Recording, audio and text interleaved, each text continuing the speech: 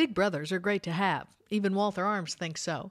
The PPQ 45 is the big brother in Walther's PPQ series of handguns. The PPQ line is the flagship of Walther Arms and stands for Police Pistol Quick Defense Trigger.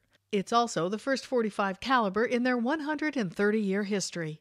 Everett Degger, Director of Marketing for Walther Arms, highlights the features of the new PPQ 45.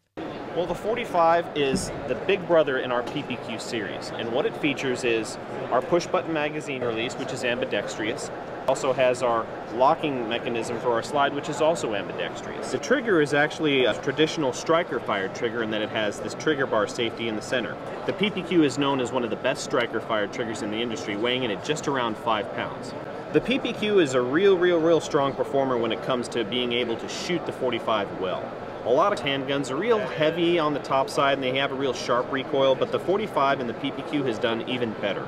And the reason that is is because we've added a lot of weight to the top of the slide to help fight that recoil.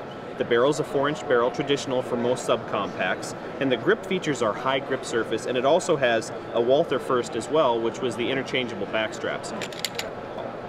The actual slide is, is designed so that it's going to be a little bit taller to help fight that recoil.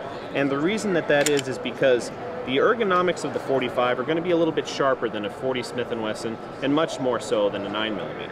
And with the 45, the PPQ is redesigned from the ground up to make sure that the ergonomics of the gun were going to work with whoever put their hands on it. And the PPQ has done just that.